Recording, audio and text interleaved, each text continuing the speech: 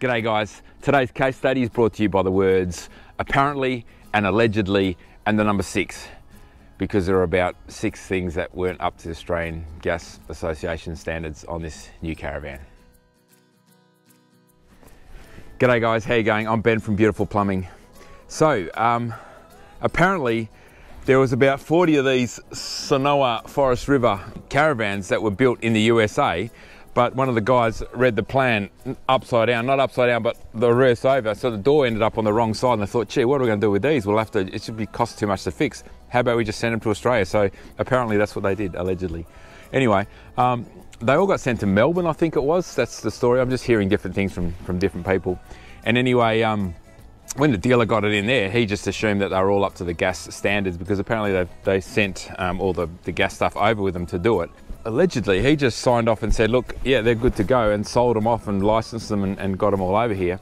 Anyway, uh, one of the blokes uh, saw in Perth thought, oh, gee, I wouldn't mind one of those because they're quite a light van and they're sort of well built and stuff, and they're you know got nice features and all the rest of the stuff.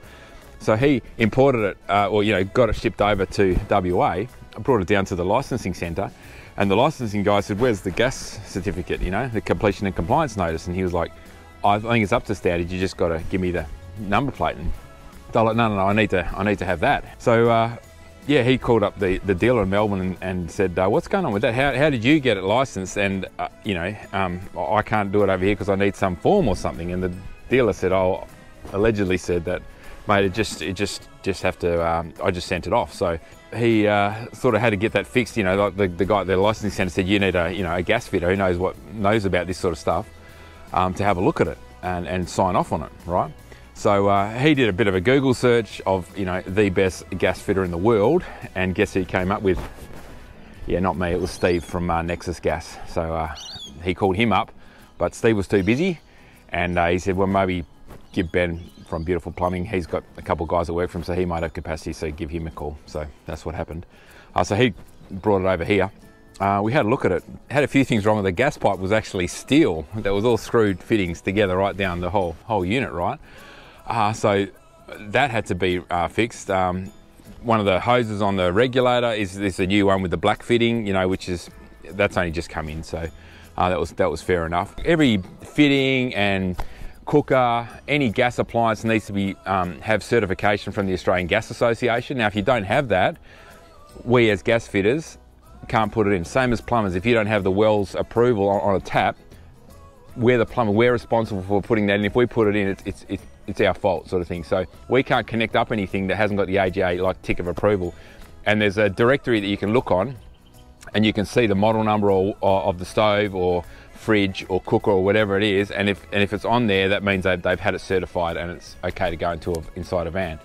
Uh, so we, we searched high and low for the cooker and it's just not on the, we couldn't see it anywhere on the directory. So we couldn't hook it up. So this van here, we've run a new copper lines. Also the, the valves weren't um, to Australian Gas Association standards, so we've changed those valves over, put new ones of those on. But with the stove, yeah, we've left it in there, but we've capped it off so you can't use it. And also one, one thing too, it's got a CO2 device, um, you know, detection and also um, LPG device um, in there as well, which, which is great for a, for a caravan but no vents. Like in, in Australia, you need a permanently high vent and a permanently low vent. So normally, most caravans, they just build them into the doors, they, they, they came in, but these ones didn't have anything like that. So you could use that, you know, stove inside and it could burn up the oxygen in there and then, you know, um, you could get a headache or even fall asleep and not wake up, that sort of stuff. So, you know, it's very important you have those high and low vents and there's a calculation and a formula you got to follow to make sure they're the correct size.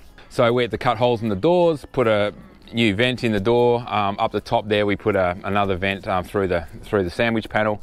Put a vent up there, so that's permanently now. That's all good. Even though we haven't hooked the stove up, eventually he's going to get a stove in there, of course.